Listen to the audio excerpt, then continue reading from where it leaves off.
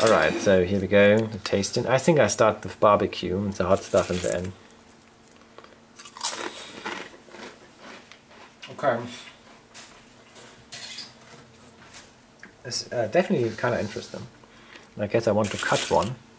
I just, I just make a super random cut now. I know I don't. Um,